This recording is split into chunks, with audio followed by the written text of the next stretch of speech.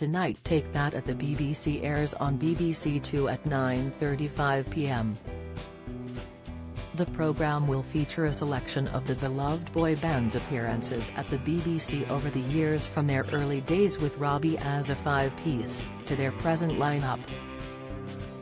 The show will be followed by documentary Take That, We've Come a Long Way on BBC Two from 10.35 pm. The documentary marks Take That's 30th year as a band, and features fans across the world sharing stories of how the group touched their lives. To mark the occasion, the program sees Robbie rejoin Gary, Howard Donald and Mark Owen to share their favorite Take That memories, while fans can catch a glimpse of the band in the studio recording their anniversary album with Bee Gees veteran Barry Gibb. Take That propelled themselves to stardom in 1991 with their debut single Do What You Like and have since scored 12 UK number 1 singles and 8 number 1 albums on the UK Albums Chart. Yet, despite being one of the UK's best-loved boy bands, Robbie and Gary were once engaged in a high-profile and bitter feud. Take That formed in 1990 when Robbie was just 16 years old and Gary was 19, and the band enjoyed almost instant success. However, Robbie was struggling behind the scenes and is said to have been frustrated by his role in the band. Robbie, who was suffering from alcohol and drug issues, then caused a massive falling out in 1995 when he ditched Take That rehearsals to go to Glastonbury with Oasis Noel and Liam Gallagher.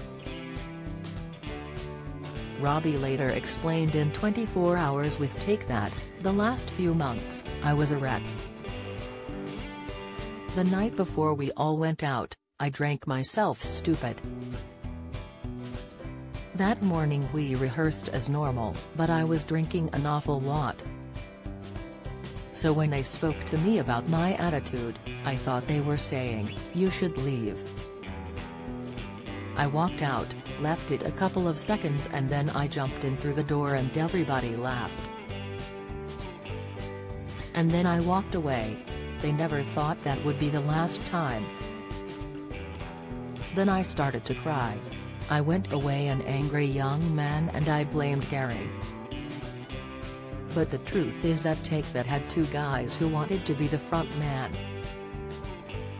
After leaving the band in 1995, the feud between the pair widened when Robbie branded Gary clueless and said the group had all the creativity of morons. According to The Mirror, Robbie later admitted, I hated our music and in the end I also hated myself. Just a year later, Take That split up entirely. Gary then accused Robbie of being jealous of the fortune he had amassed from being the group's chief songwriter. However, it was Robbie who shot to global stardom in 1997 upon the release of his first single Angels. Meanwhile, Gary's own debut album flopped in the charts, leading the former Take That frontman to be dropped by his record label. According to The Mirror, Gary has since admitted, it was a really humiliating thing that happened. I'd been in this band, it all ends, you get dropped, one of your band members goes on to be stratospheric, you're just the loser. There's like a big L wherever you look, all over your body, you're just a loser. I just didn't want to be me.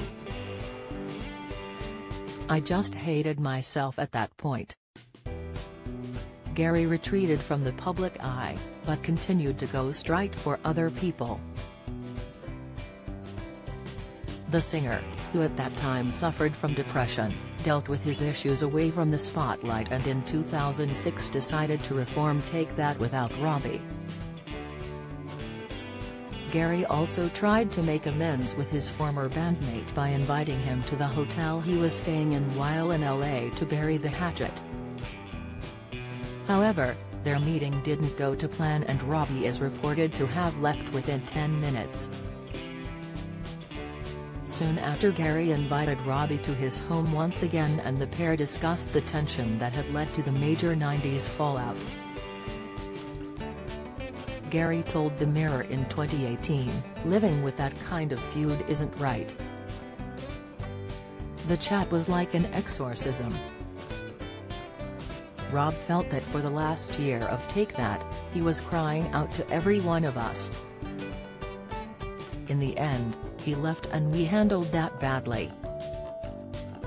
We let him leave the fold and no one looked after him. Robbie was barely 21. What happened between me and Rob always bothered me. In 2010, Robbie rejoined Take That for their Progress album and tour. For the hit album, Robbie and Gary penned the song Shame together, where they opened up about their broken relationship and attempts at fixing things.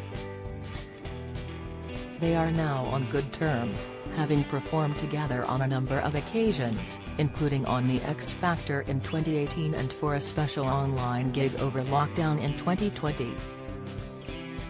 Watch Take That at the BBC on BBC Two at 9.35 pm.